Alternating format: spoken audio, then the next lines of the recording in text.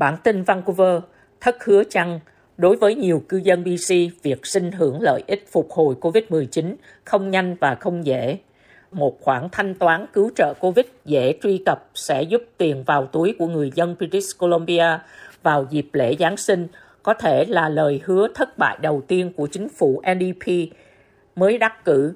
Đơn xin trợ cấp phục hồi COVID-19 khoản thanh toán một lần miễn thuế lên đến 1.000 đô la cho các gia đình đủ điều kiện và cha mẹ đơn thân và lên đến 500 đô la cho các cá nhân đủ điều kiện đã bắt đầu mở vào ngày thứ Sáu vừa qua. Đến Chủ nhật 20 tháng 12, nhiều người đã liên lạc với đài News 1130 và lên mạng xã hội để nói rằng họ đang nhận được email từ tỉnh bang nêu rõ các vòng lập bổ sung cần chuyển qua để nhận được khoản thanh toán mà họ tin rằng sẽ dễ dàng truy cập. Bản sao của một trong những email này được cung cấp cho News 1130 liệt kê các tài liệu cần được nộp trong vòng 30 ngày để xác minh thu nhập, danh tính và nơi cư trú. Email có nội dung để xác minh thu nhập ròng của bạn và vợ hoặc chồng hoặc đối tác sống chung thông luật Common Law Partner. Một bản sao có thể đọc được của tất cả các trang của bạn và vợ hoặc chồng của bạn hoặc thông báo khai thuế thu nhập Canada năm 2019 gần đây nhất của đối tác sống chung. Tiếp theo điều kiện đòi hỏi bản sao của một thẻ ID chính phủ. Chưa hết, người làm đơn xin còn phải cung cấp hai tài liệu xác minh đương sự là cư dân cư trú trong BC vào ngày 18 tháng 12 để xác nhận rằng bạn và vợ hoặc chồng hoặc đối tác sống chung của bạn hiện là cư dân BC. Một bản sao có thể đọc được của ít nhất hai trong số các tài liệu sau. Các tài liệu phải hiển thị tên của bạn và vợ hoặc chồng hoặc đối tác thông luật và địa chỉ ở BC và phải bao gồm ngày 18 tháng 12 năm 2020 trong phần ngày tháng của đơn xin. Những tài liệu đó bao gồm bản kê chương mục ngân hàng, hóa đơn điện nước, hóa đơn điện thoại, bản kê thẻ tín dụng và bảo hiểm nhà hoặc tờ gia hạn. Nhiều người chỉ ra rằng hóa đơn cho các dịch vụ nhận được vào ngày 18 tháng 12 sẽ không được phát hành cho đến tháng Giêng. Khi các tài liệu đã được thu thập, chúng có thể được gửi qua đường bưu điện qua cổng thông tin trực tuyến một người đã tải lên các tài liệu cần thiết và nhận được email xác nhận của nhà nước. Do số lượng lớn thư từ được nhận, có thể mất đến 30 ngày để đáp ứng đơn xin của bạn.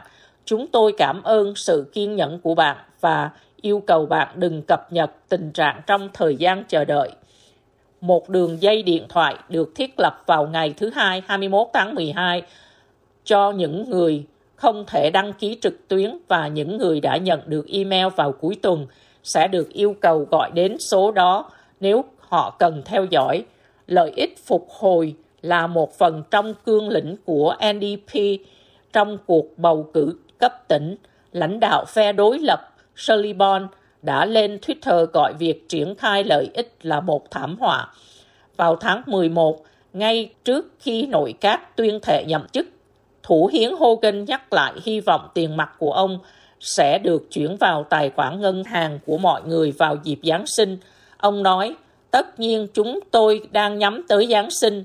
Tôi nghĩ người dân British Columbia sẽ rất vui khi nhận được 1.000 đô la cho gia đình của họ hoặc 500 đô la cho cá nhân họ, cho dù nó đến vào ngày 24 tháng 12 hay vào ngày 5 tháng 1.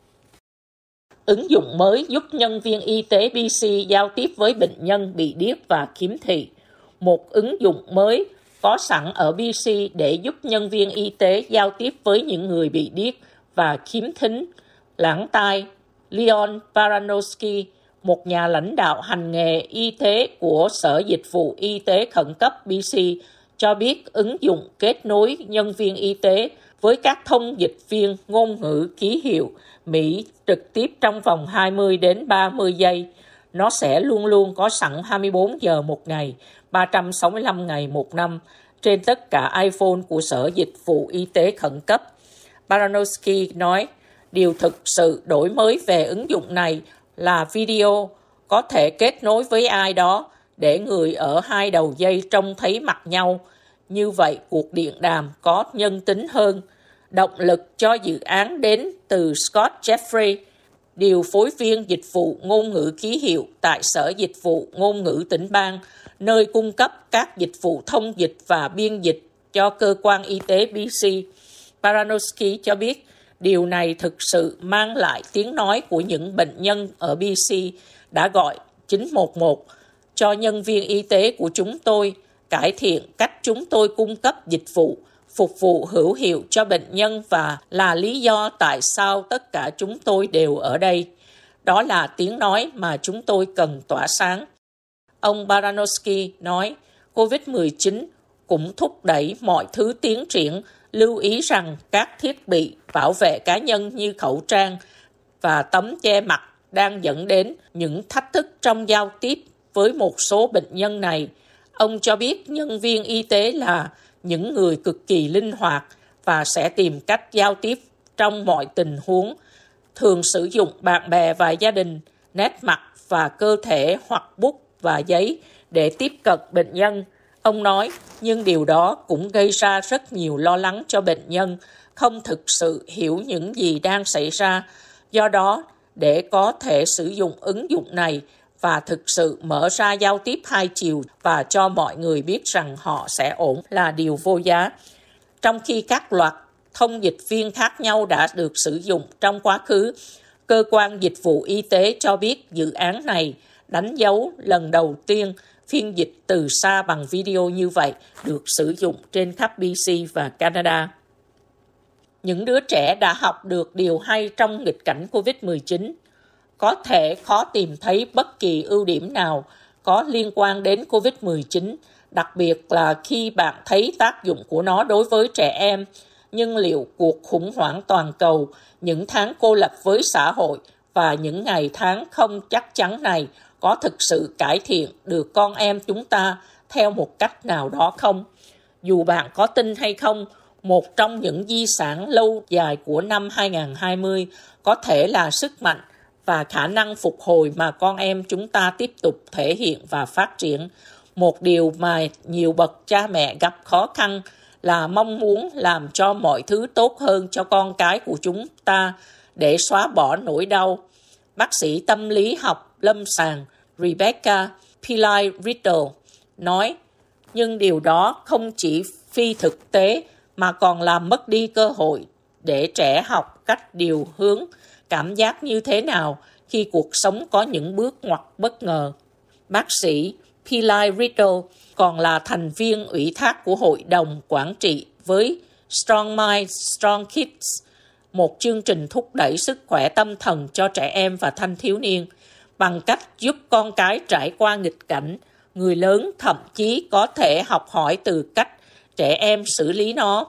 Mục sư Ryan Walker của United Church nói rằng bạn có thể nắm bắt các tín hiệu từ bọn trẻ bằng cách cảm nhận mọi cảm xúc của bạn mà không để chúng làm bạn bị cản trở. Walker giải thích, nếu chúng tôi hỗ trợ con cái cảm nhận cảm xúc, bạn sẽ nhận thấy ở một đứa trẻ, nó sẽ đi qua hệ thống của chúng khá nhanh. Nó dạy chúng rằng cảm xúc của chúng vẫn ổn và chúng có thể đương đầu với những gì đang xảy ra, chứ không phải những gì chúng hy vọng và chúng dạy chúng ta điều đó thực sự tốt. Angela Crocker đã rất ấn tượng với cách mà cậu con trai 14 tuổi, Sean của bà, đã xử lý trong vài tháng qua. Sean luôn kết nối với bạn bè thông qua công nghệ và cậu ta chấp nhận rằng trong khi cậu tuân theo các quy tắc, không phải ai cũng sẽ làm và đã thể hiện một cảm giác đồng cảm lớn hơn. Bà Crocker hy vọng những thay đổi tích cực mà bà thấy ở con trai của bà sẽ tồn tại lâu dài. Bà Crocker nói, Son đang bày tỏ lòng biết ơn theo những cách mới, biết ơn vì chúng tôi có một ngôi nhà an toàn, ấm áp và thoải mái. Son sẽ luôn nhớ về khoảng thời gian này và biết rằng có bao nhiêu điều phải biết ơn, ngay cả khi bạn không có tất cả mọi thứ. Crocker không phải là người duy nhất nhìn thấy con cái của họ tìm thấy nguồn nhân từ và lòng trắc ẩn ngay bây giờ. nhiều đứa trẻ khác đã trở nên có trách nhiệm và chu đáo hơn nhiều như thế nào. Chúng đã thay đổi và sẽ tiếp tục như vậy. Bác sĩ Pillai Riddle đồng ý rằng những bài học thấm nhuần trong bọn trẻ bây giờ sẽ trở thành một phần của chúng trong tương lai. Pilar Riddle nói, chúng sẽ nhìn lại cách chúng đối phó và cách chúng chinh phục. Đây sẽ là câu chuyện mà con cái chúng ta sẽ kể cho con cái của chúng. Mục sư Walker nghĩ rằng không chỉ thời gian này sẽ xác định con cái của chúng ta theo nhiều cách. Walker nói, tôi nghĩ chúng sẽ là một thế hệ có rất nhiều lòng nhân ái. Chúng sẽ nhận ra rằng bạn phải hy sinh để tất cả chúng ta được hòa nhập và được chăm sóc. Tôi nghĩ trải nghiệm này sẽ khiến thế hệ này trở thành một trong những người có lòng trắc ẩn nhất từng sống trên hành tinh. Tôi không cố gắng giảm thiểu hoặc loại bỏ những thiệt hại rất thực tế mà thời gian này đã gây ra cho trẻ em và sẽ tiếp tục dành thời gian từ từ tiến tới những ngày tươi sáng hơn và một số sẽ mang gánh nặng hơn những người khác. Nhưng những đứa trẻ này sẽ trở thành một thế hệ có ý thức cộng đồng, sự đồng cảm và chấp nhận rộng rãi. Chúng đã học được rằng cuộc sống sẽ ném cho bạn những quả bóng cong khiến bạn gục ngã, nhưng chúng cũng đã học cách quay trở lại hết lần này đến lần khác. Vì vậy, chúng sẽ không chỉ đối phó với COVID-19, chúng sẽ bị thay đổi bản chất bởi nó. Đổi lại, chúng sẽ có sức mạnh để thay đổi thế giới. Đổi thế giới